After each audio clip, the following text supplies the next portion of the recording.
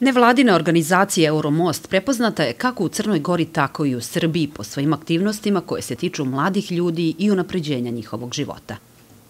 Predsednik ove organizacije, Almer Vekić, poseti opštinu Prijepolje i Kancelariju za mlade i u saradnji sa njima organizovaće druženja mladih iz Bijelog polja i Prijepolja. Planiramo da organizujemo u junu mesecu jedan eko-kamp za mlade koji bi se organizovao u Brodarevu. Taj kamp bi, prije tog kampa bi krenula jedna regata limska.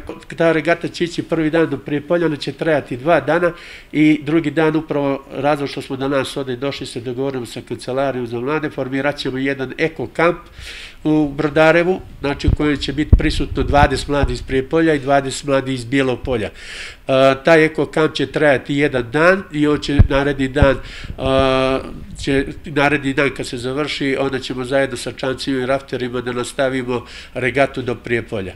Inače, ova prekogranična saradnja dve države, odnosno Bijelog polja i Prijepolja, bit će prepoznata po mladima i ovo bi trebalo da posluži kao primer dobre prakse. Koji se tiče e, konkurisanja, e, na konkurisanja sa projektima na prekograničnim i e, regionalnim konkursima koji će u skorije vrijeme izaći. Smatram da je veoma važno povezati mlade iz ove dve opštine, E, gdje će oni kroz druženje, razminu iskustva e, unaprijeti svoje i unaprijeti upotpuniti svoja znanja e, i time učiniti nešto za svoju zajednicu. Također u ove aktivnosti bit će uključene i turističke organizacije Prijepolja i Bijelog polja, a mladi će kroz ove projekte uz druženje moći da upoznaju i neke nove destinacije.